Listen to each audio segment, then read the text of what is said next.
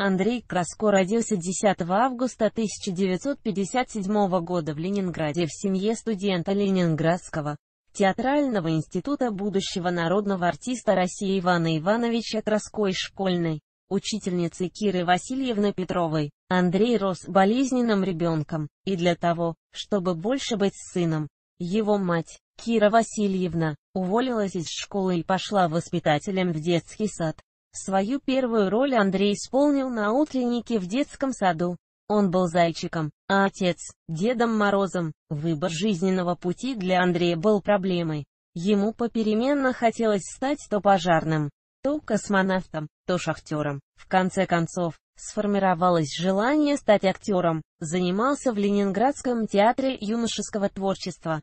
ТЮТ, 1969-1974 при Ленинградском дворце пионеров под руководством Матвея Дубровина. Первая попытка поступления оказалась неудачной. Краско не был принят, так как плохо подготовился к экзаменам. Один сезон он работал монтировщиком декораций в театре им.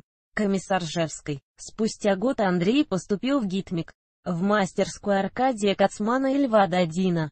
В 1979 году по окончании ГИТМИК, он по распределению был направлен в Томский театр юного зрителя. В том же году дебютировал в кино. В 1982 году был призван на срочную службу в советскую армию.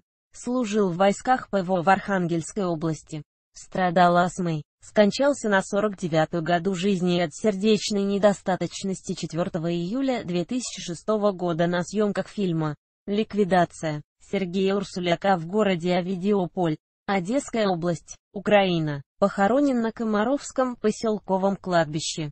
Под Санкт-Петербургом 7 июля 2006 года.